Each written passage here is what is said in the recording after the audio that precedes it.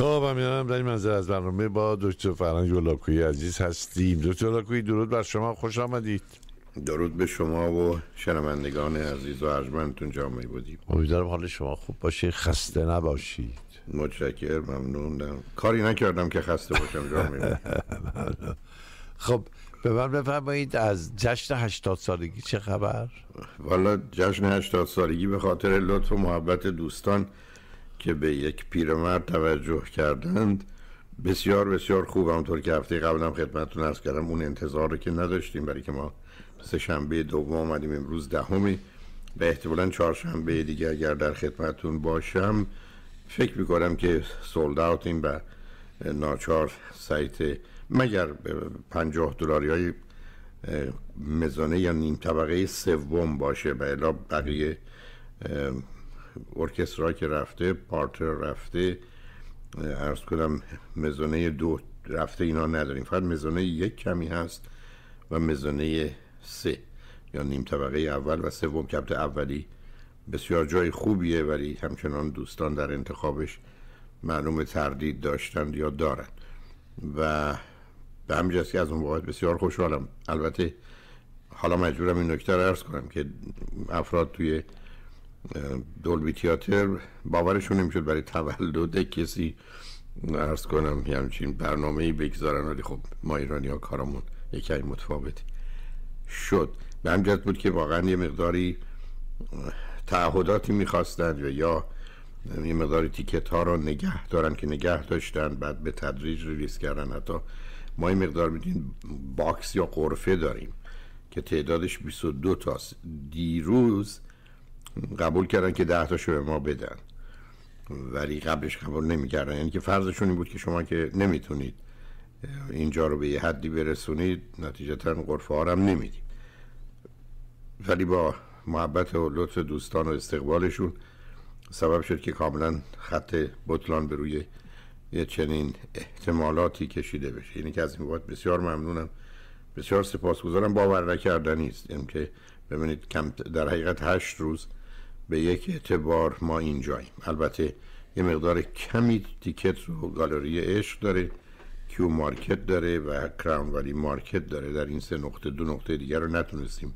بهشونم تعداد کمی کمی است که احتمالا تو این هفته اونها هم که از امروز شروع کردن ظرف دو سه روز حتما تموم میشن. چون چیز زیادی باقی نمانده بود که به این دوستان بدیم.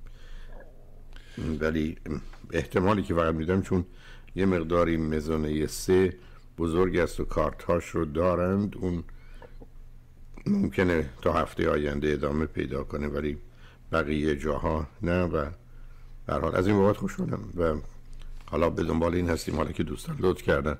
البته تجربه آورش چیز دیگری که ما هیچ برنامه ای رو گرچه برنامه هایی داریم ولی اعلان هم نکردیم. از به نظر کار خوبی کردید اعلام بله. نباید اعلام کرد نه لزومی نداره.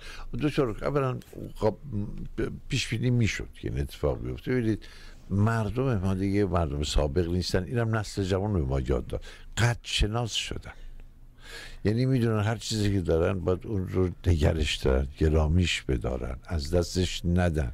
مفت و مجانی.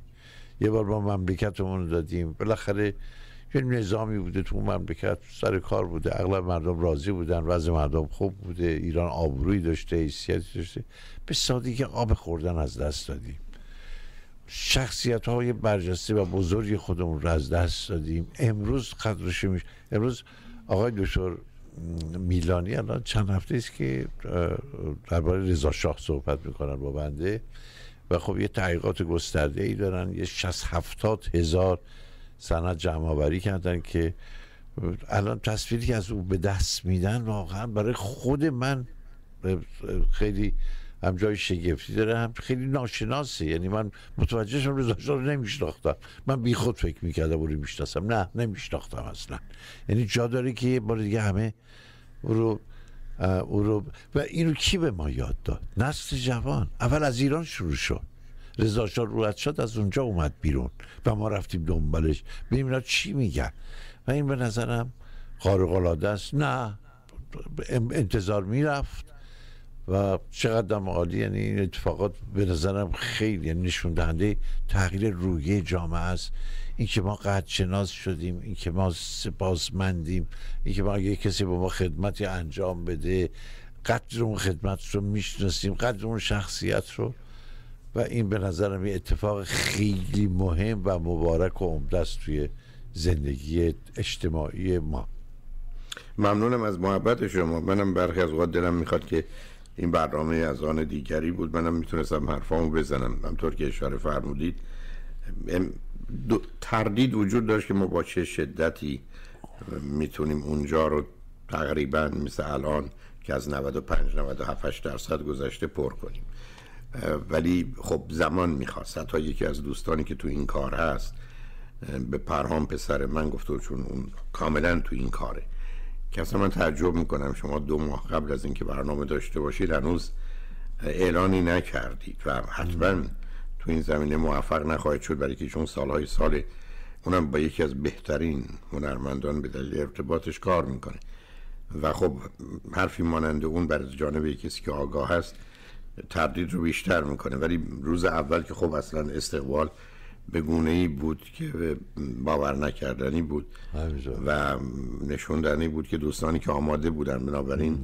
و بعدم عزیزانی که از جای مختلف دارن میان. یعنی الان پرز بفهم از مینسوتا عزیزی دو نفری دارن تش بیارن و پس درخواست تیکت کردن که حالا ما قراری کاری برای شما اشکال کار من جا می بودی اینه که ندارم. می‌دونید؟ خدمت دوستان پرهام و فرید با من صحبت می‌کردم بهشون گفتم بچه ها من وقتی ندارم چی کار کنم؟ چون مثلا اینا همیشه دوستانی داشتن. دوستان بسیار نزدیکی که ای بسا 20 سال 30 ساله با همن و فکر کردن خب در همچین روزی که همه برنامه ها بودن اینجا هم باید باشن. ولی حرف من دیشب این بود که ندارم. من تنها جایی که ممکنه خب نگه می داشتی دکتر. خواهی تعدادی باید خب نگه نه اونقدر نگه داشتم برای ماها باید نگه نه برای شما نگه داشتم ولی اون تعداد بیش از اون شده. آخه می‌دونید دوستی عزیزی مثلا خب من انتظار داشتم ما پرس کنیم در گذشته ده نفر میمان داشتیم شش تاشون می آمدن دو چهار تا وقت داشتن سفر بودن. نه نمی آمدن ولی این دفعه که هر ده تا دارن میان. این تصمیم رو گرفتن. چقدر دو چه بسون بگم اگر قبل از جنبش زن زندگی آزادی بود زمان بر بود. یعنی هم اتفاق افتاد سالن پر میشه ولی با یه زمان طولانی. ولی واقعا بعد از این جنبش خیلی چیزها در ما عوض شد. قبول دارید اینو؟ بدون تردید. ببینید جامعه بودیم ما حرکت های اجتماعی معمولا خطی هن. اما برخی از اوقات در مراحلی پله میشن. یعنی شما حالا میپرید بالا حالا یه جای دیگری هستید. و یه مسیر رشد و پیشرفتی رو پشت سر گذاشتید معلومه جنبش زن ما رو متوجه کرد که بارام خدمتون ارز کردم این مادر و خواهر و دختر و همسر به همون اندازه ما مهمند با ارزشن. حرمت و حیثیت و شرافت و کرامت و حق انسانی دارن. خب این خیلی حرفه. دوم زندگیه. یعنی یه قرار نیست فقط بمونیم و بمیریم. قرار زندگی کنیم. و بنابراین پیام این بود که قرار درگیر یه تلاش و کوششی بشیم برای رسیدن به همه چیزهای بهتر که هم به عنوان انسان رشد می‌کنیم هم برای دیگران در شرایطی که در تعینا و کم بود هستیم کمک می‌کنیم. ولی اون آخریش آزادیه مهمترین صفتی است که از آغاز خلقت در بهشت خدا به انسان داد و حتی به اون آدم و هوای نمی‌دونم خدا بیامرز و بعد برای مدت ها فراموش شده بود و حالا دو مرتبه به عنوان موضوع اصلی و اساسی من حتی دو سه بار می‌دونید که اولین سمیناری که به همت بنیاد مهرگان بود سمینار آزادی بود و عزیزانی مثل جام دکتر عباس میرانی که اشاره کرد جای مهندس بهرام مشیری آقای دکتر علی رضا اکبری آقای دکتر احمد کریمی حکاک یا خانم میلانی و خانم بیداد بر که متخصص همسر گرامیشون رئیس بخش در حقیقت ایرانی یوسیله بودن دکتر زیایی. این عزیزان گفتگویی داشتن. و یکی از عکس هایی که این روزا تو اینستاگرام هست یه عکسی است که در قسمت پرسش و پاسخ که مسئولیتش با من بود. من هستم و دکتر میلانی هستن آقای مهندس بهرام مشیر هستن آقای دکتر عزیز اکبری هستن آقای دکتر احمد کریمی حکاک هستن. فکر کنم عکس خانم ها که اون طرف بودن رو نگرفته یا به حال در اون عکس نیست.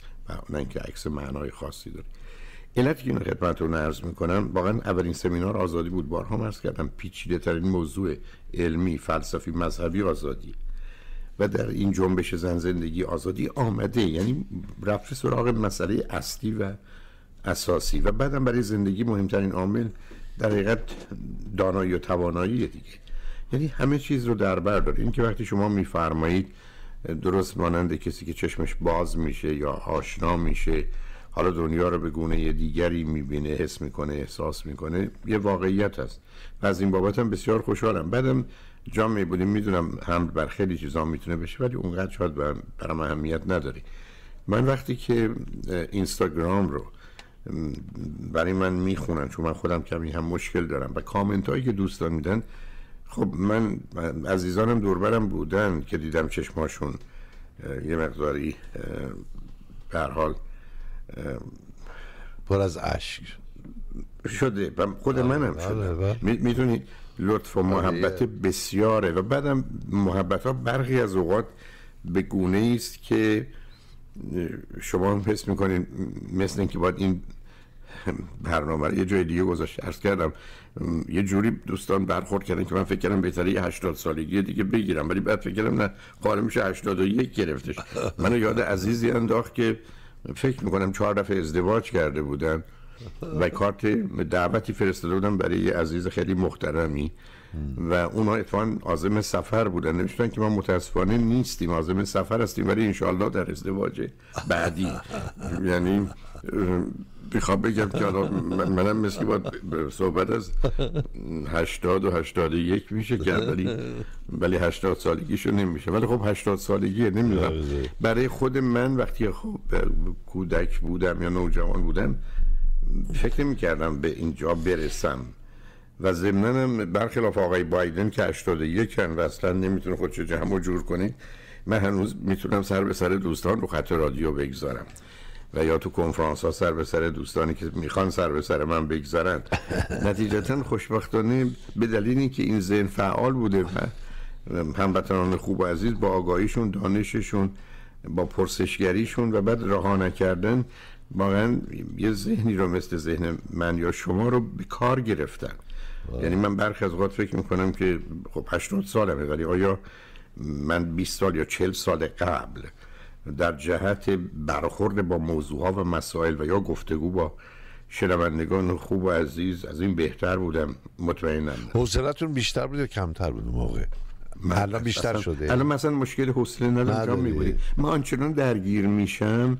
ببینید حوصله وقتی است که شما فکر می‌کنید زمان در آهسته میگذره یا کاری که باید در زمان صورت بگیره اتفاق نمیافته؟ من اینا ندارم. هیچ وقتم نداشتم. خیلی خوب علتش این است که میشه از همه چیز یه چیزی درست کرد. بارها عرض کردم. شما من یه بچه دو سه ساله بدید یا یه نوجوان 13 14 ساله یا یه فرد مسن مثل خود من 80 ساله من به راحتی می‌تونم یه روز ده ساعت کنار اون خوب و خوش باشم. علتش این است که انسان یه موجود بسیار پیچیده ایه و بعدم تفاوت ها تنوع رو داره زیبایی رو داره فرصتی برای آموزش و رشد داره. اینها رو نمیشه از دست داد. یعنی بارها عرض کردم من اینقدر که از بچه هام یاد گرفتم ابدا به بچه هام چیز یاد ندادم.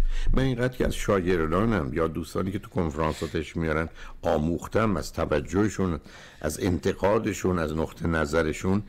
هرگز من به اونا این گونه نیاموختم. و به همین که واقعا به درستی گفتن بهترین طریقه در حقیقت یاد گرفتن یاد دادنه.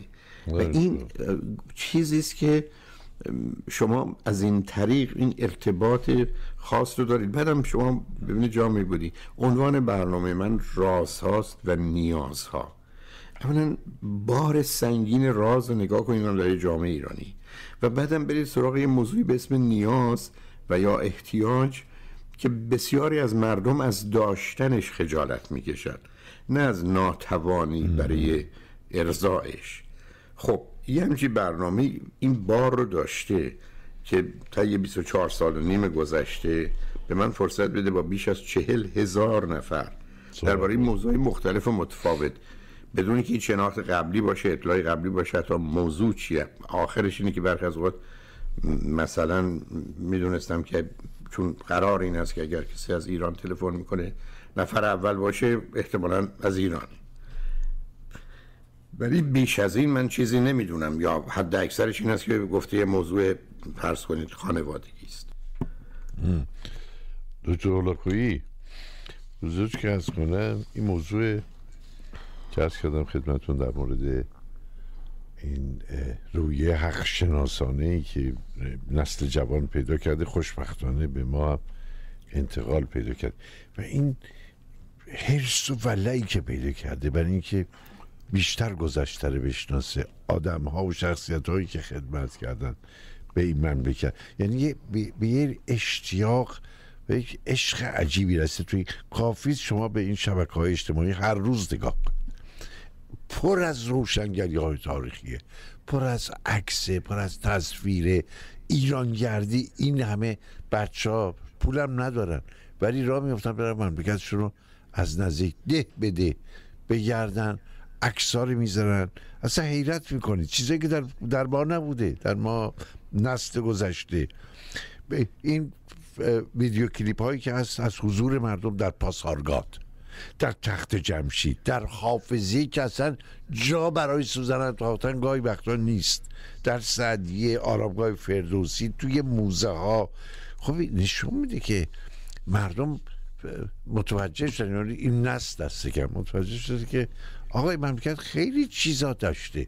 فقط به خاطر عدم قدر شناسی همین چیزا از گپ رفته. یعنی نسلی بودن که براشون مهم نبوده ایران. بیشتر نگاهشون متوجه نمی‌دونم بیرون از ایران بوده. کشورهای مثل روسیه مثل چین دلشون ایران شبیه اونا بکنن.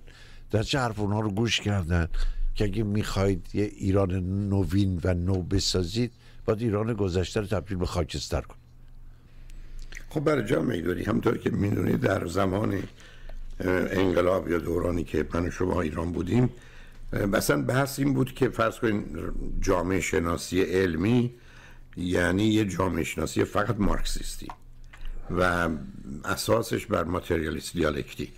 حتی می‌دونید معتبرترین کتاب جامعه شناسی که بارها تجدید چاپ شد و چاپ صد هزار تایی داشت در حالی که تو انتشارات دانشگاه تهران روی هزار بود.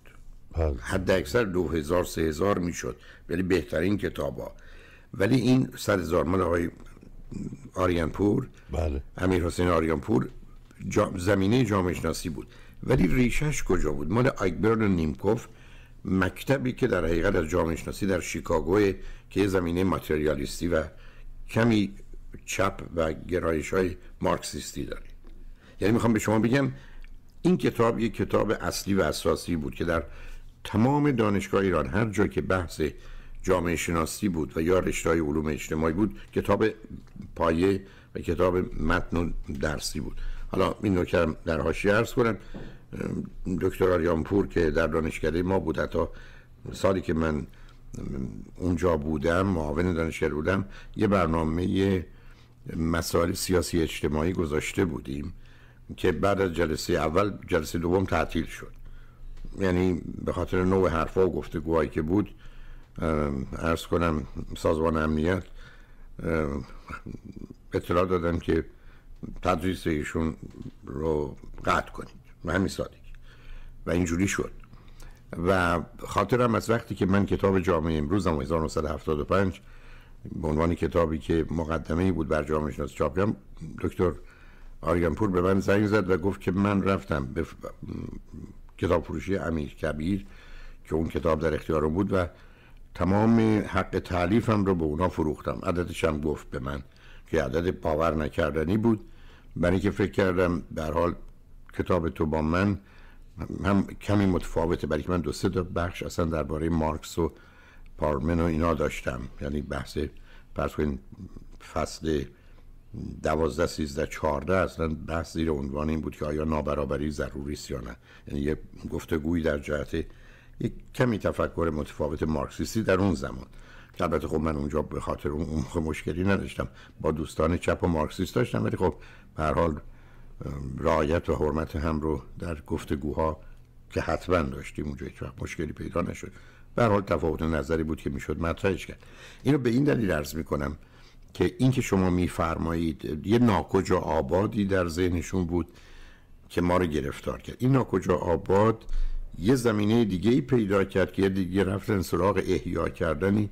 یه چیزی که هیچ وقت هم زندگی نکرده و زنده نبود و برگردیم به یک دوران 1400 سال قبل. یعنی یه چیزی رو که فکر می‌کردیم باید می بود نه اینکه بود. حالا می‌خوایم این دفعه بهش جامعه عمل بپوشونیم و تحققش ببخشیم. و این گفتگویی بود که شما توی فرض کنین افکار دکتر شریعتی یا متحری یا حتی کسی که مدیر بخش جامعه شناسی دانشکده خود ما بود آقای دکتر غلام عباس توسلی و اینا که در اونجا درس می‌دادند و حرف می‌زدن دربارش بود. و منم گفتگویی که اونجا داشتم این است که این بود که اون زمان حتی توی بحث مربوط به انقلاب این رو داشتم که این درست است که مسئله انقلاب قلب و دگرگونی است. مسئله انقلاب پیشرفت و پسرفت بنی نره. چون یه فکر می‌کنن انقلاب یعنی همه چیزا بهتر میشه نه؟ انقلاب می‌تونه بهتر یا بدتر بشه؟ اون دگرگونی است. چون ما انقلاب صنعتی داشتیم یا انقلاب فرض کنید به یک اعتبار مثلا علمی و جهانی داشتیم یا حتی انقلاب مشروطیت داشتیم یا انقلاب مارکسیستی داشتیم که اونا باور مثبت رو در ذهن به وجود آورده بودن. ولی این دگرگونی می‌تونست در جهت پسگرد باشه یعنی حتما به دنبال پیشرفت نباشه. و من دقیقا همین امروز جامعه بودی. بانوی عزیزی آمدند با همسرشون و گفتگویی با هم داشتیم. و مسائلی مطرح شد که دو دفعه خدمتشون ارز کردم شما مطمئنید من و شما در قرن 21 هستیم. مثلا در قرن 15 هم نیستیم. برای که این حرفا اگر ما فرض کنید 600 سال قبل شما می‌گفتی در یه جامعه ای که مردم خواندن و نوشتن بلد نیستن رو خب من مثلا بفهمم ولی در قرن 21 مثلا تو کانادا یعنی این نگاه شماست به موضوع زندگی. حتی خدمتشون عرض کردم آخه شما ما سوار خر اولاق می شدیم حالا با هواپیما میریم ولی شما به نظر من این اولاق آوردید توی هواپیما. برای که اصلا این, این ترکیب چجوری می‌خونه؟ اشکال کار در این اشکال کار در اینی که ما وقتی به صورت مطلق و تجریدی به مسائل نگاه می‌کنیم میگیم خب هدف حرکت از یه طرف به طرف دیگه بله. خب این کار خر می‌کنه اتومبیل یا هواپیما می‌کنه. پس اینا هر سه با هم مساویان پس حالا چه اهمیتی داره؟ تازه خیلی از اوقاتم چون خودمون هیچ وقت سوار خر نشدیم. چون بیشتر اوقات نیست که سوارمون شدن. یه توهمی داریم که این چه دوران خوبی بوده. این همون باز توهمی است که در گذشته چقدر خوب بوده مردم چقدر انسان بودن اخلاق مطلقا چنین چیزی نبوده. هیچ آمار هیچ مطالعه علمی همچین چیزی رو در هیچ زمینه ای نشون نمیده. ولی خب توهم. الان شما مطلبی فرمودید. در آقای دکتر عباس میلانی مرد پژوهشگر پرکار علاقمند با یه نگاه بسیار علمی انتقادی به موضوع ها همطور که اشاره فرمودید به یک باره تاریخی که فقط تکرار یه حرف غلط بیپایه بیمایه بی سند و مدرکی بوده که رشد پیدا کرده حالا شد به عنوان واقعیت رو ایشون با یه مطالعه دقیق اصلا از وجود اینجوری نشه. اصلا همچین چیزایی به این صورت و شکل اصلا نبوده. در حالی که اصلا به صورت یه فکت به قولان یه واقعیت در مورد آدما حالا اینجا در مورد رضا مثلا پذیرفته شده. و به همین جهت بود که من وقتی که در ایران درس می‌دادم یه مخالفت شدید من با مسئله تجزیه و تحلیل تاریخی بود. برای که حرفی بود که این تاریخ رو دوست نمیشتی یا دشمن. کاملا این فیلم های فرض کنید امریکایی که نشون می‌داد در جنگ مثلا جهانی دوم این آلمان ها چقدر احمق و ابله و بدبخت و وامونده و بیچارن و مثلا این امریکایی ها یا گروه حساب متفقین چقدر پرقدرت و توان هستن. خب اینا نوشتن. ولی بعدا با این واقعیت نگاه نمی‌کردن که خب اگر ماجرا اینقدر ساده بوده چرا 4 5 سال یه همچی جنگی که با 4 5 روزه تموم می شده ادامه پیدا کرده؟ چرا همه قهرمانی ها مال امریکایی ها یا مال انگلیس هاست و تمام حماقت ها مال آلمان ها خب بله حماقت بزرگ رو هیتلر داشته حماقت یک حیوان وحشی با بیماری و گرفتاری. ولی اون چیزی که سیستم و جامعه بوده که این گونه نبود. نتیجتا به همین جهت است که من مثل اینو کی نوشته؟ و به همین که وقتی شما یه آدم محققی میره سراغ اسناد و مدارک رفت اصلا موضوع ابدا همچی شکل و فرمی نداشته. شما ما یه آدمی رو دارید توصیف می‌کنید که اصلا این ویژگاهی روانیش نبوده. چون ببینید الان اگه به من برگردن بگن که جناب میبودی در یه برنامه رادیویی حرفای زشت زننده بد بیان کردن من هرگز هرگز هرگز قبول نمی‌کنم. معناش این نیست که شما اینا رو نمی‌دونید ولی اصلا با این ویژگی روانی و شخصیتی شما ورود به این مرحله اصلا ممکن نیست. مثل اینکه برگردم میگن می‌دونی جامعه بودید دیشب چیکار کردن؟ رفت بودن یه ماشین رو بدزدن و بالاخره در رو باز کردن و رفتن. بعد از این مدت متوجه شدن مثل که شاید پلیس داره میاد ولش کردن در رفتن. من, من چیکارش کنم؟ من چه جوری بپذیرم که جامعه بودی رفته ماشین دزدی؟ خب آدم باید یه بیمار باشه یه خودخواه باشه یه آدمی باشه که بتونه یه چنین برچسبی رو بپذیره یه چیزایی به آدما نمی‌خوره. خیلی تفاوت. یعنی ما یه آدمی هستیم که به صورت یه سیستم کار می‌کنیم. یک دفعه یه چیز دیگه که نمی‌تونیم بشیم. به من شما برگردم بگن الان ما یه بوته گوجه فرنگی داریم که از همه درخت های چنار بزرگتر شده خب این قابل قبول نیست. این یه چیزی یه جایش اشکال داره.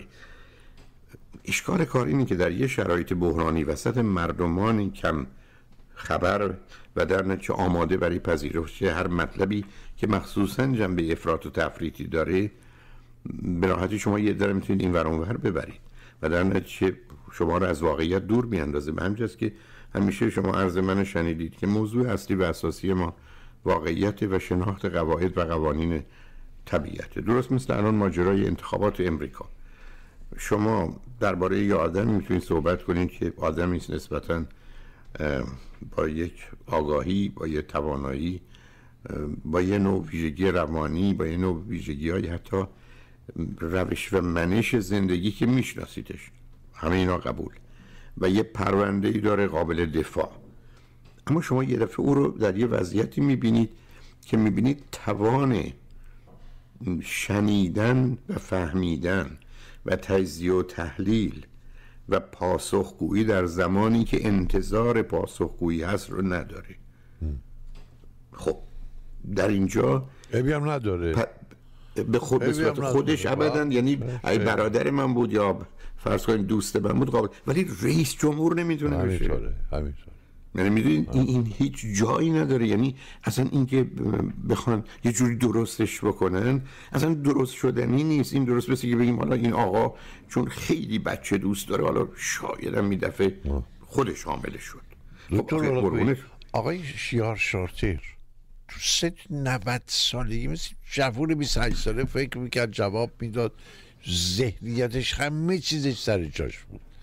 خب یه کسی هم از زودتر این توانایی ها رو از دست میده. هیچ مسئله هم نیست خیلی هم طبیعیه. آقای بایدن هم به همین ترتیب. اصلا باور نکرد. این آقای استا چی بود؟ استفانو پلوس مال همین جورج این مصاحبه کننده ای بی سی یه مصاحبه کرد با جو بایدن بعد از مصاحبه با جو بایدن ازش پرسیدن که نظر چی؟ می‌تونه برای بار دوم؟ خیر. نمی‌تونه برای بار دوم آمادگی داشته باشه.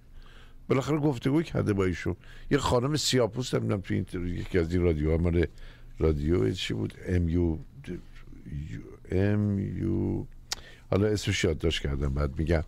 اونم همینطور کن بعد از اول سالا رو بهش داده بودن. چهار تا سال رو کاغذ سفید داد. یواشکی تقلب بهش رسوندن. بعد حالا اون معموله. نمی‌تونه. خب نه نه نیست. ساله هم بودی. عرض من عرض من درباره بایدن اینی که درست نمیشنوه. درست چیزا رو سر جاش نمی‌گذاره. بعدا در حدی که باید پاسخگو باشه نیست. مصاحبه رو یا مناظره رو دیدیم. خود شما می‌دونید. من بعد از چند دقیقه شنیدن یادم یه شناختی ازش پیدا می‌کنم. اصلا هیچ ارتباطی به گذشته ایشون نداره یعنی من الان دارم با شما صحبت کنم شما هر سالی که از من بفرمایید تو پاسخ که ولی من خواب باشم چی؟ من هیچ اعتنایی به شما نمی‌کنم. جواب هیچ سوالتون رو نمیدم. تموم شد. جامعه بودی. ببینید در آغاز زندگی یه سال خیلی مهمه. بچه یه ساله با دو ساله خیلی فرق داره. در آخر زندگی هم وقتی تو شرایط از بین رفتنی 80 با 81 خیلی فاصله داره. 80 زنده است 81 مرده. اشکال کار این است که آقای بایتن از کار افتاده. قصه این نیست که ایشون در مغزش نداره. ایشون نمی‌تونه بهش دسترسی داشته باشه. یعنی ایشون نمی‌تونست بگیره. یعنی موارد آشکاری رو که هم می‌تونست مطرح کنه هم می‌تونست پاسخگو باشه. ابدا. بنابراین قصه اصلا در خب یعنی چرا مقاومت می‌کنه فکر می‌کنید خب این من شهر چه می‌دونم نه نه نه نه نه نه نه اون اون ویژگی روانیش نیست. پس چی؟ اون ویژگی چی آقای دکتر عرض می‌کنم من عرض می‌کنم. از نظر من اولا فکرش اینه که من می‌تونم خودم رو جمع و جور کنم. چون مسئله نه برای خودش روشنه. فکر کنه همه چیز روشن. من میشه گفتم آدمایی هستن که در یه ذهنیتی هستن که سقف خونهشون رو آسمان می‌بینن. یعنی یه سقف 5 متری 10 متری رو فکر می‌کنن آسمانه. این ایگه دوم فرض ایشون که تو ذهنش خوندند و از نظر بسیاری به دلایلی پذیرفت چون که آقای ترامپ رو که تو یک دفعه در انتخابات شکست دادی این آدم امروز بسیاری از مردم بهش اعتماد اطمینان ندارن و او انتخاب نمیشه. یعنی علت انتخاب تو آقای بایدن خوبی تو نیست. ای بیست که روی ترامپ یه دی می‌ذارن درصدی و حساسیت یه دی دارن که هم خودشون میان هم بقیه رو وارد این ماجرا می‌کنن. بعدم یه مطلب دیگه هم هست. ای بسا کسانی که در این ماشین سیاست هستن دنبال این هستن که یه انتخابی بکنند که قابل قبول باشه. درسته الان همه چیز رو میگن خود آقای بایدن. زیر بار نمیره که بره کنار. ولی اولا خدمت کنم خواهد رفت. اون نمی‌تونه نه به زور خواهد رفت یا خودش خواهد اصلا قصه نه نه این قصه این که فرض کنین تمام می‌دونن بر اساس قانون کابینش می‌تونن در یه شرایط خاصی رای بدن بعد این رای تصویب بشه. نه به زور هرگز با بایدن این کار نمی‌کنه. آره برای که حتی دشمنان بایدن هم حتی کسانی که مال جمهوری خواستن برای این آدم ببینید اصطلاح این که ما این آدم رو دوست داریم و این آدم رو آدم سالم دیسنتی در چارچوب سیاست می‌بینیم. یه سابقه ای رو درست دموکرات ما مثلا جمهوری خواهیم. ولی برای اون روش و منشی که عرض کردم یه ارزش قایدم پس نه به زور نخواهد بود. ایشون خودش این کار خواهد کرد. ولی یه احتمال داره که اینا دنبال جانشین هستن که اون خلع پیدا نشه. یعنی بیان ببینن که می‌خوان چه کنن. آیا می‌خوان الان یه کاری بکنن؟ آیا معاونش رو می‌خوان وارد صحنه کنن؟